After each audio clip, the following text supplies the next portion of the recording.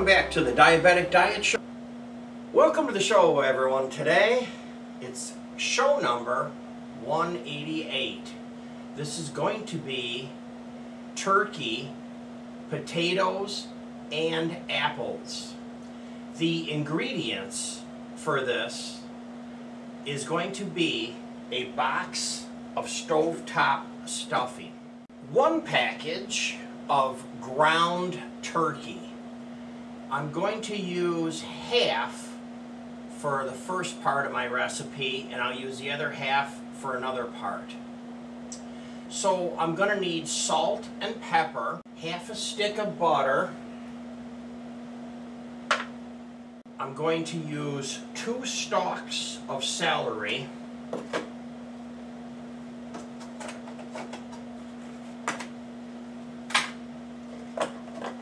And onions. I've pre-cut some stuff up, it makes it a little bit faster.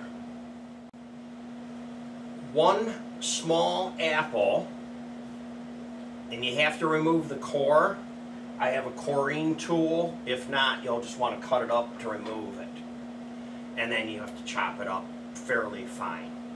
We're going to use parsley, about a palmful of the dried spice. We're going to use uh, thyme and an egg and chicken broth or beef broth is okay to use potatoes, I would use two potatoes per person. I like the Yukon Gold, it's better. And then balsamic vinegar of some sort. This I order online. I get this from Grapes and Olives. This particular one is pecan balsamic vinegar and it's real good. Now I don't work for them, I don't get paid or anything to say that. I just order online and I like it. And my olive oil comes from there too. So today for the olive oil, I'm going to use garlic mushroom olive oil. And you can use any kind that you want. So I have that as well. Um, the first thing we need to do is we need to get the water boiling because that takes the longest. So let's go ahead and put this in to my pasta strainer that I got and I just love. Turn this on. That's going. Now, let's start cutting some things up here. So we need to cut up our potatoes. They tend to boil faster when you cut them up. So I have my mandolin here and you can use a knife or you can use a mandolin if you want. This thing's pretty neat. I don't think it was very expensive. Another thing I ordered online. Everything I have, I think I ordered online. Just like that. See how fast that cuts those little rascals?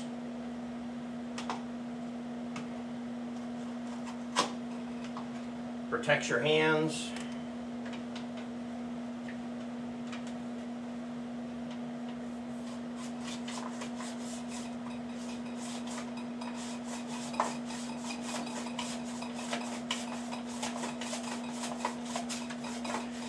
Potato takes a couple minutes to get started, but once you get it, you got it. There we go. Put that little play toy aside. Pretty fast. Put them in there, get them boiling. The apple I'm going to wait and do later because they tend to brown up.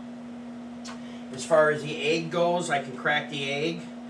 You're best to crack an egg on a flat spot like this and then you can pull it open and you won't get shells in it just like that. I have the oven preheating to 325 I need to make my stuffing. Now you can make this from scratch with bread or you can be like the rest of us and use the stovetop stuffing However, in place of water, I'm using a beef broth. You could also use a chicken broth. I don't think they make a turkey broth, so I'm doing turkey, so let's go ahead and put that in there and get that going. Now you also have to put in butter. So you need a half a stick of butter.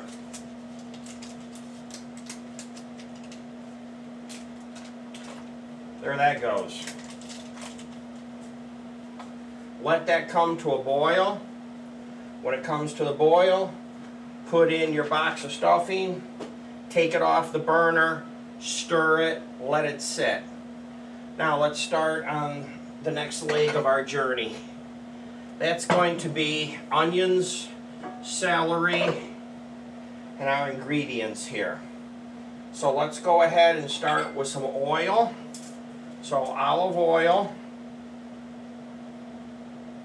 I did three turns. Of course, you can find all the ingredients and the quantities of what I use and how I do at my website. That's going to be uh, jamestdds.blogspot.com. And down there in the lower right hand corner, you'll see the subscribe button. If you hit that now, then you'll get to see some of my other videos. And if you hit the bell button, it'll remind you when I drop a new video. So I have my olive oil.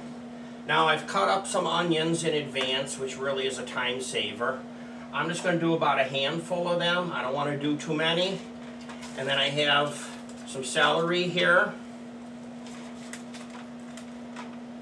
Throw in some celery. Put in my egg.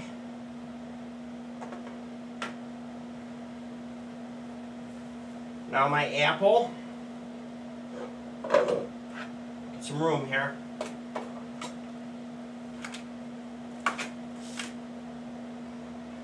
For my apple, I'm using this fancy coring machine. Just pops them out like that. Then I give it a spin, the core comes out. Then I just take my knife and I just put them into about quarter inch pieces.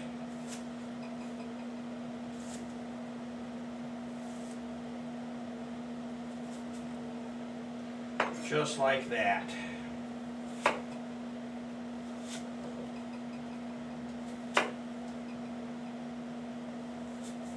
Nice and slow.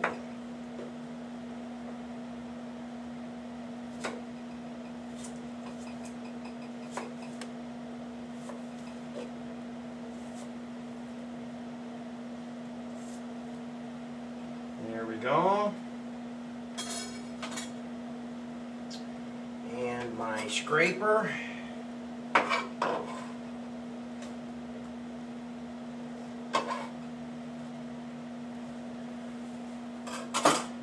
Now we need to do our dry ingredients.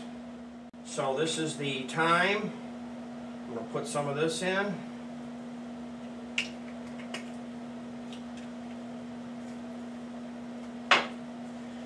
Parsley.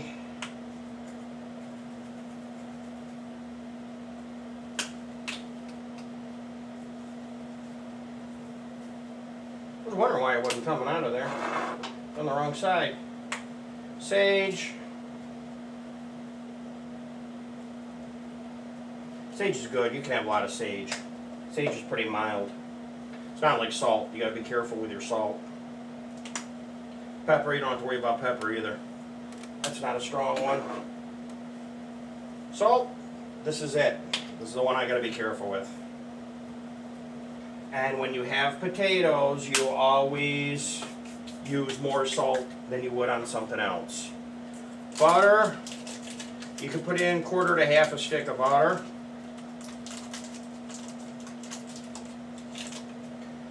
Now I am going to switch here. This is boiling. Get that melting the butter. And put the lid on it. It'll make it heat faster. I need to put the stuffing in. So let's go ahead and put in the stuffing and we'll move some things out of the way here just to make some room.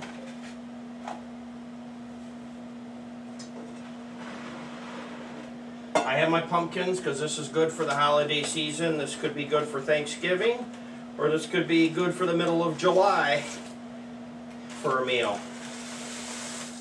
We dump that in like that.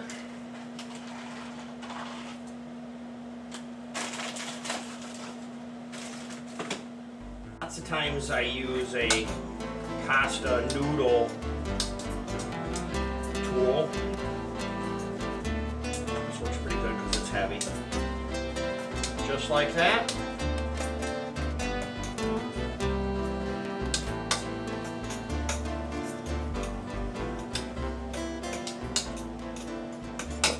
That's looking real good.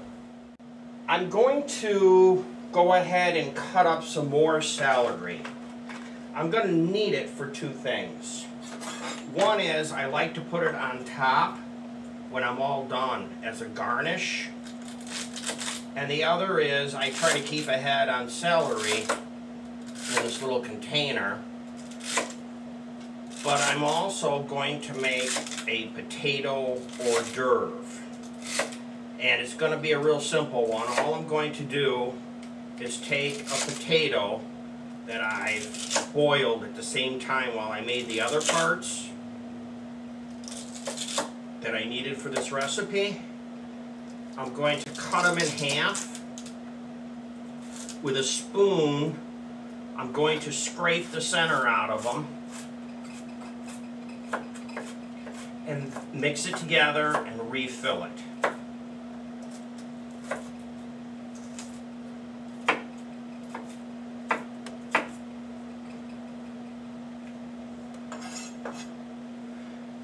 Celery is one of those things that's kind of hard to cut up. It wants to go everywhere on you.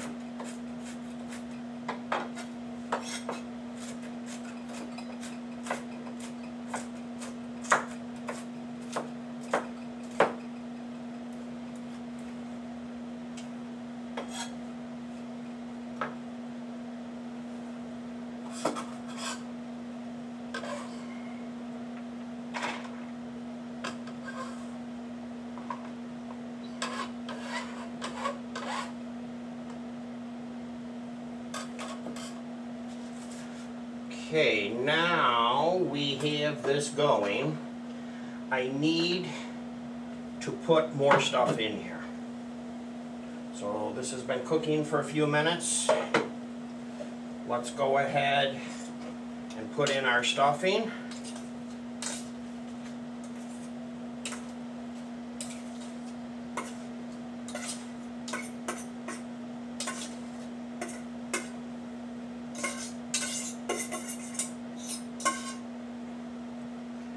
Just like that.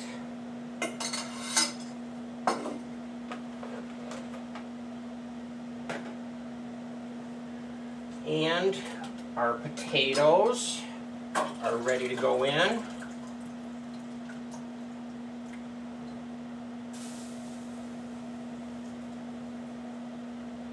Just like that. Shake this up, put it back on the burner. Move a few things out of the way here. Make sure she's not hot.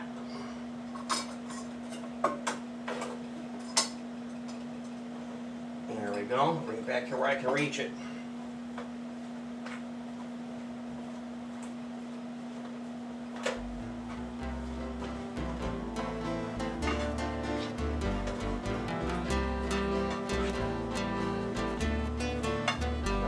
Rolling this together, folding it.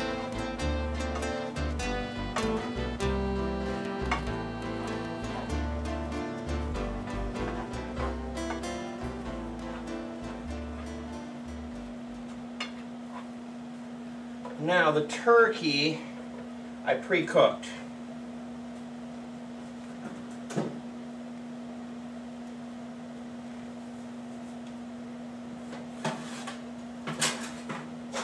It with the thermometer to make sure that it was over 170.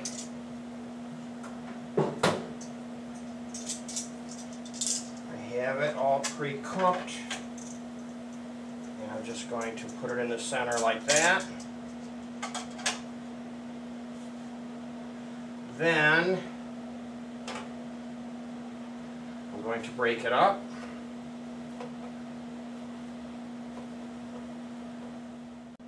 I have the ingredients cooking pretty well here.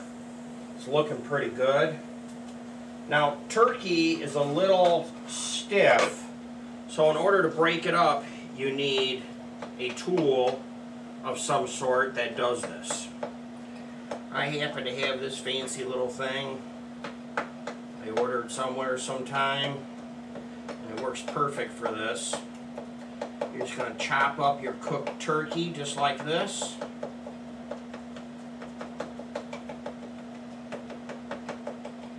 Works great. Just got teeth on it.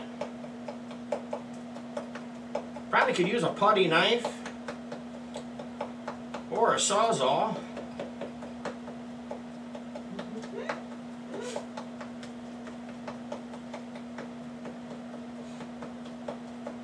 There you go. We need to put in a couple of tablespoons of our balsamic vinegar. I have the measuring tool hiding here.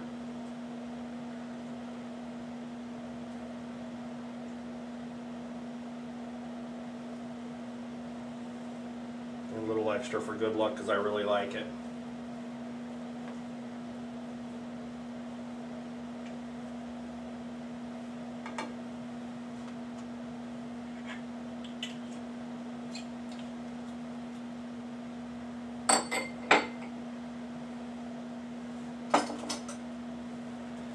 Just need to stir this.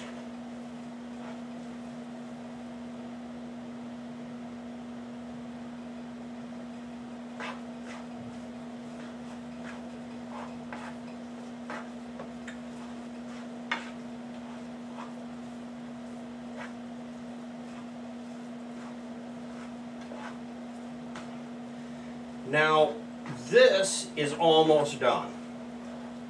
If don't pre-cook the sausage like I did, or you don't cook the potatoes separate like I did, you would have to put this back in the oven now at 325 for about 20 minutes.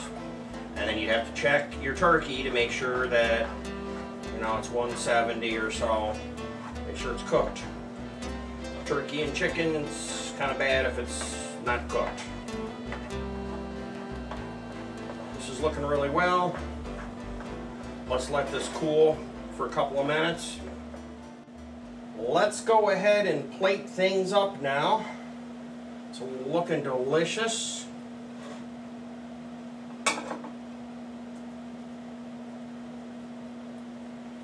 Just like that. And then I like to put a little bit of celery on top. I like the crunch. And there you go. Well, that's the show for today. Thanks for joining me. Goodbye for now.